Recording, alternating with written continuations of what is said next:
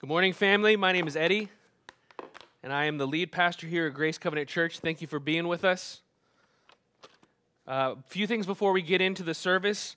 Uh, first of all, I am excited to remind you all that we are reopening on August 2nd. We are reopening our Sunday morning service, 10 a.m. at Dominion High School. And so I'm excited about this, and I hope that you're excited as well.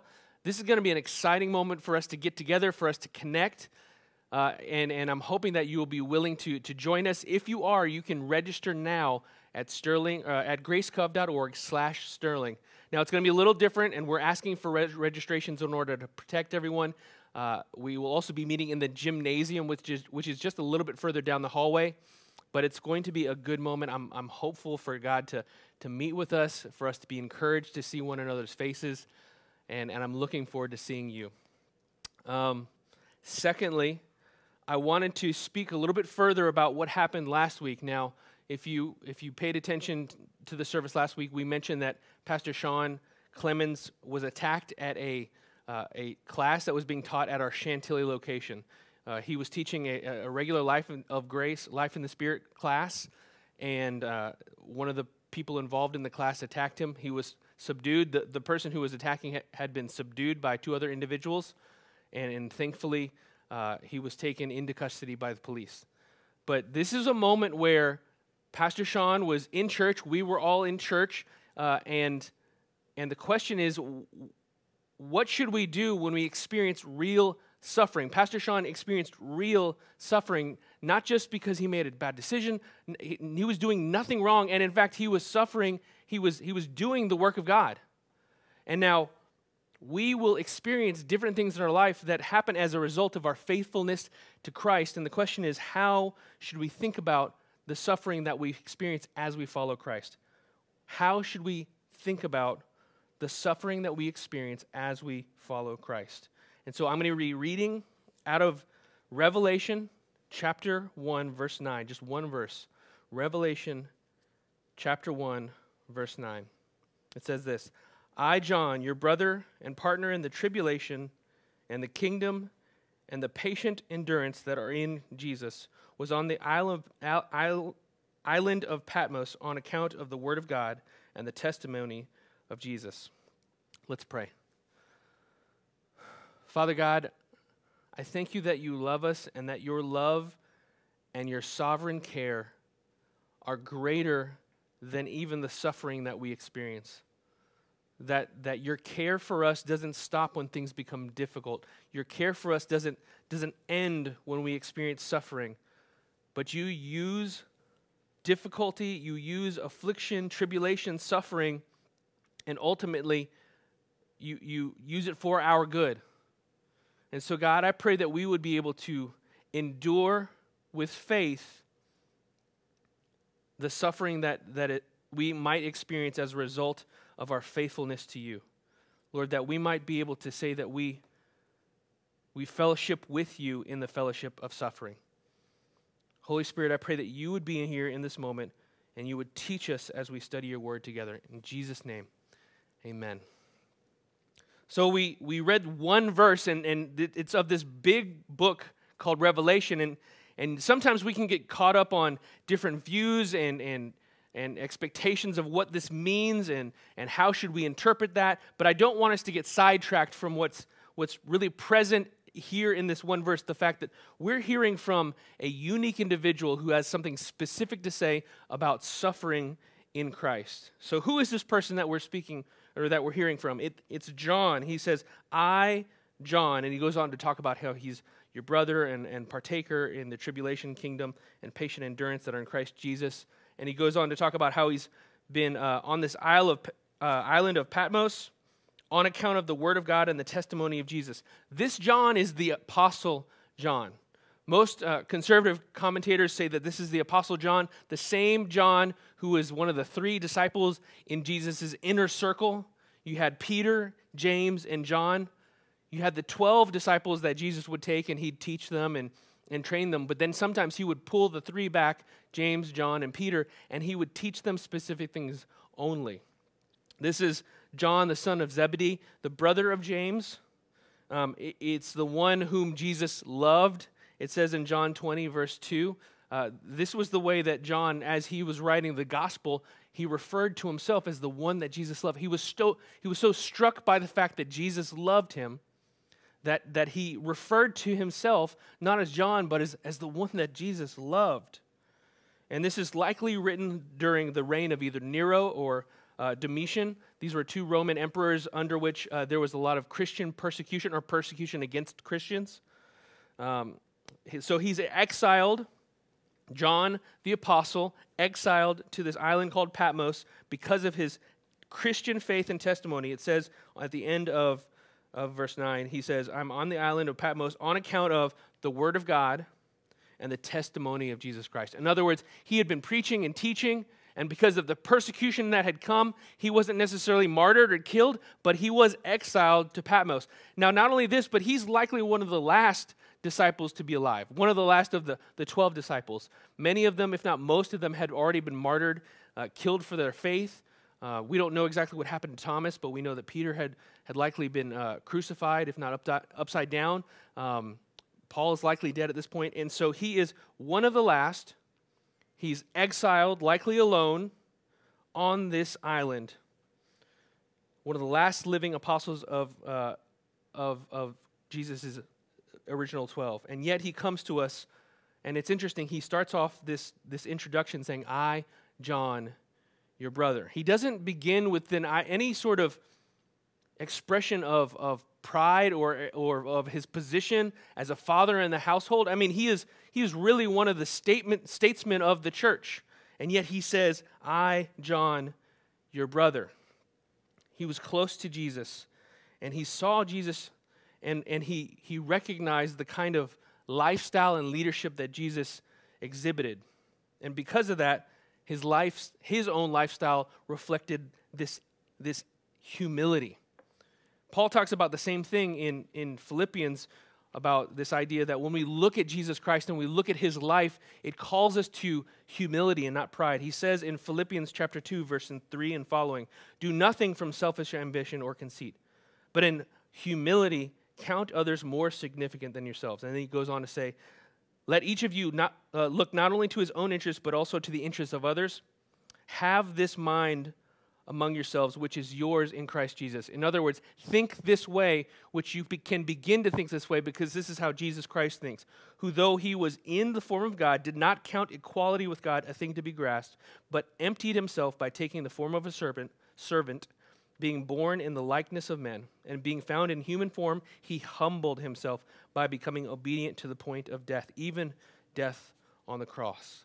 Paul is teaching the Philippians and, and reminding us that, that in order to follow Christ, we, we must follow in humility. And we see that in John. He is saying he's the brother, he is equal with them. He is not better or worse, but he is one of their brothers, one of our brothers. Christian intimacy, intimacy with Christ, closeness with Christ should yield humility. And in the midst of, of persecution and exile, when he could have become bitter and, and had expectations of how his life ought to have gone, he remains humble because he understands that to be a Christian, to be in fellowship with Christ, is, is also to be in fellowship with everything that Christ experienced, namely, in this case, suffering. When he experiences the suffering of exile, the suffering of, of pain, he doesn't say, Why me? He doesn't say, I, I don't deserve this. He says, I, I've looked to Christ my Lord, and I've seen that he suffered, and I willingly accept the same fate. So John is the brother. But not only is he the brother, he's the partner in Jesus. He goes on to say, I, John, your brother, and a partner, one who's partnered, connected along the same lines and goals and, and alignment, partner in tribulation and in the kingdom and in patient endurance, all of which are in Jesus. He's a partner with those to whom he writes, and ultimately, he is a partner with us. He joins in this pursuit of Christ with us. He's a partner in three things in, in tribulation, in the midst of the kingdom, and then finally in patient endurance or, or perseverance, we could say. Let's look at this. I, John, your brother and partner in the tribulation.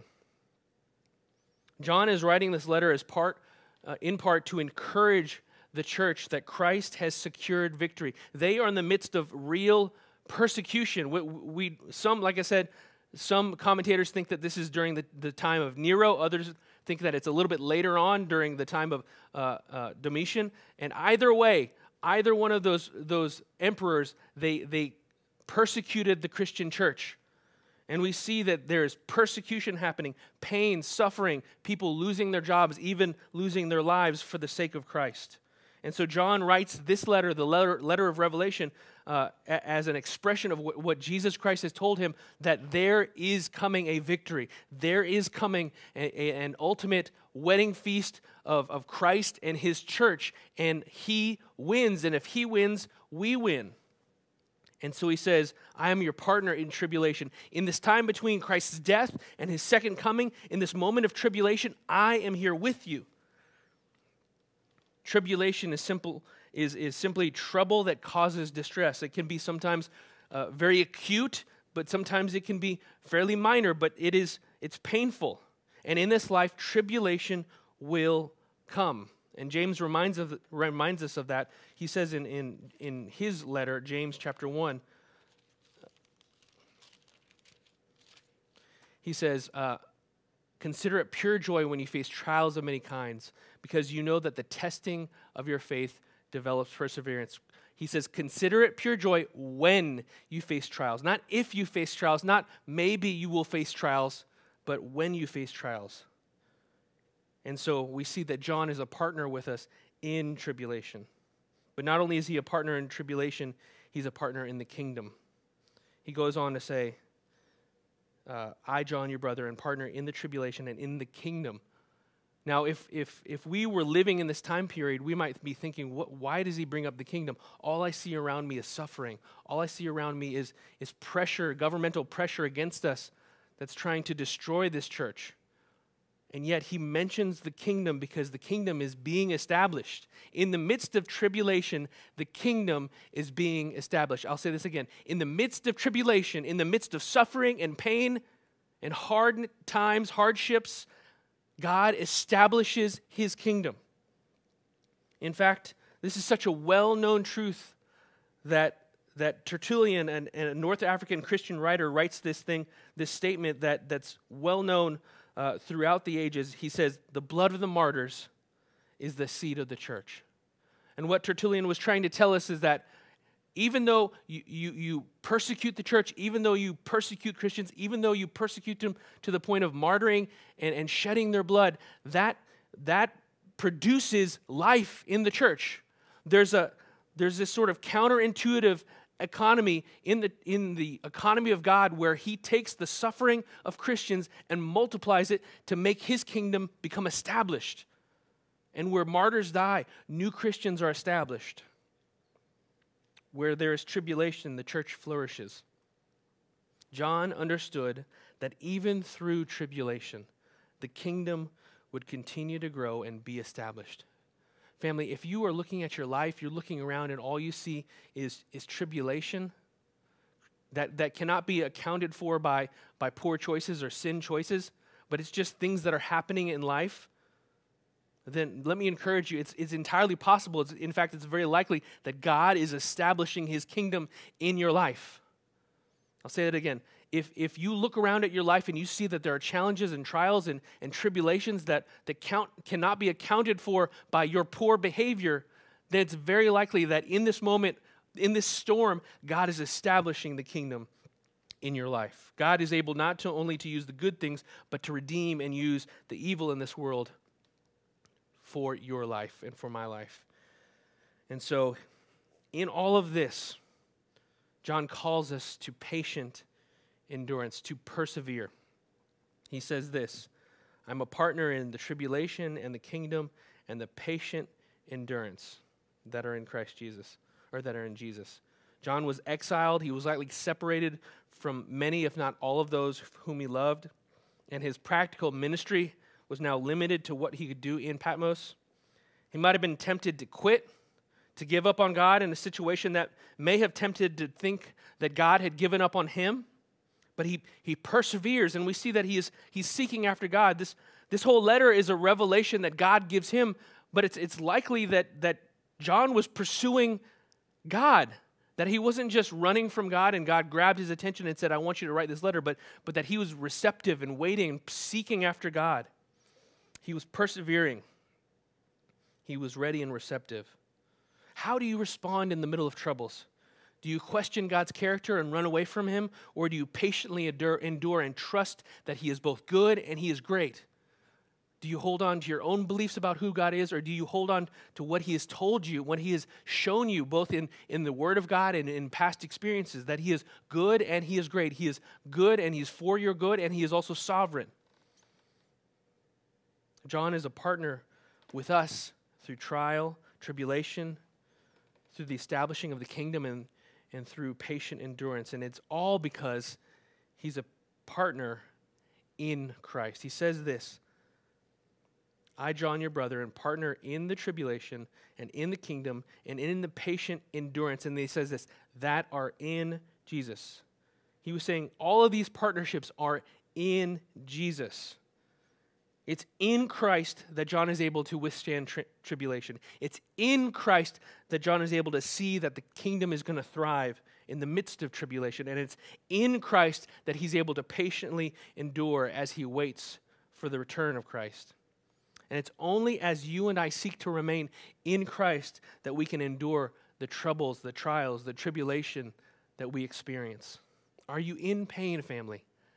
Run to Jesus. Are you suffering? Run to Jesus. Are you unsure? Run to Jesus. If, in, if, you if your trust is in Jesus Christ, if your faith is in what he accomplished on the cross and the promise that he would return and, and fix everything, then your life is hidden in Christ and Christ is in you.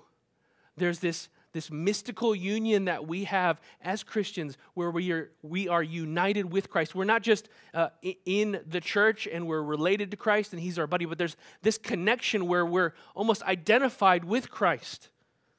Through His life and death and resurrection, we're, we're invited to experience the power of resurrection life. And it's not just power to, to deliver us away from things, but it's power to deliver us through tribulation as the kingdom's being established. It's power that allows us to, to endure and push and, and persevere.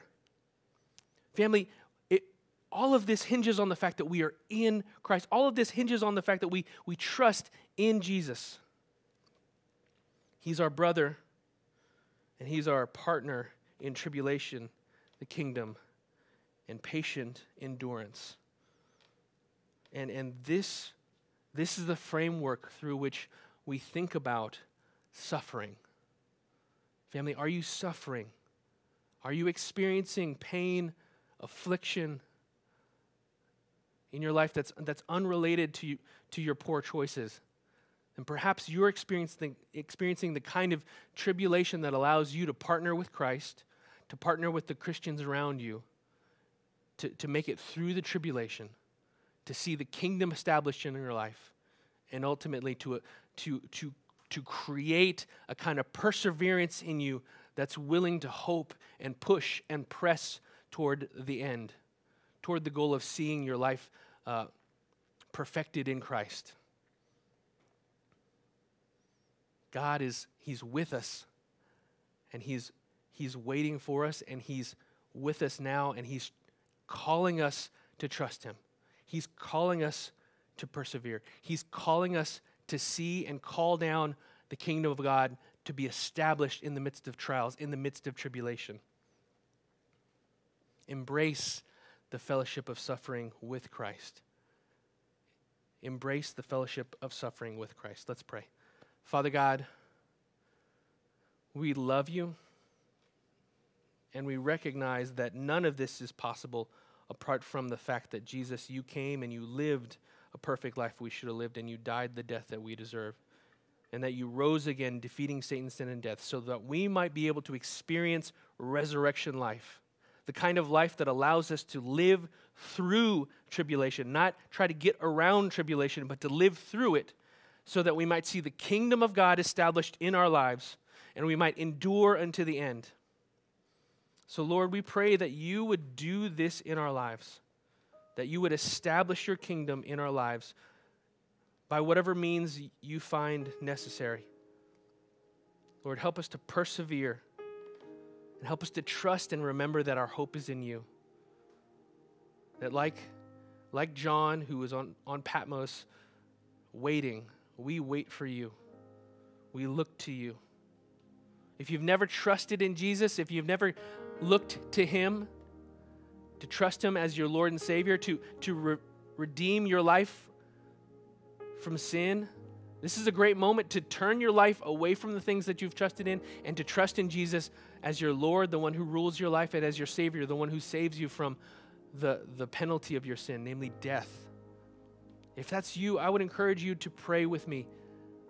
You could pray, God, I turn away from everything I know to be sin and I turn to you. And I ask you to forgive me of my sin and to give me the way forward, Lord. Fill me with your spirit and let me walk out a life that's worthy of the salvation that you've already given me. I pray this in Jesus' name. If that's you, I'd love for you to let one of our chat hosts know so that we can celebrate with you and help you walk out this life of faith well. Well, family, we love you and we're thankful for all that you're doing. And we're excited to say that we are still doing amazing things in our community. We have, we have partnered with, with Mobile Hope, and, and we've been doing a lot of things to support Sterling, Herndon. Uh, we've been even involved in, in Chantilly and a number of other places, but, but we are doing everything we can to love our community well. And so, weekly, we've been taking this benevolence offering where we've taken these things, taken these funds, and used them to support individuals in our church and in the community so that we might be able to share the love of Christ by meeting physical needs. If you'd like to take part in this, we'd love for you to do that. You can do it one of three ways. You can write a check to Grace Covenant Church and write Sterling Benevolence in the memo and send that to our church office. Otherwise, you can click the give link on our church website, gracecov.org slash sterling, or you can give through our mobile app. But however you give, I, am thankful for it. Let me pray. Father God, we thank you for the generosity of your people. And we pray that you would use these funds for the good of your people and for the good of our community so that they might experience your love and be open to receiving your testimony and putting their faith in you. We pray these things in Jesus' name. Amen. Well, family, I love you. It's good to spend some time with you, and I can't wait to see you face to face. The Lord bless you and keep you. The Lord make his face shine upon you and be gracious to you. The Lord lift up his countenance upon you and give you peace. Amen.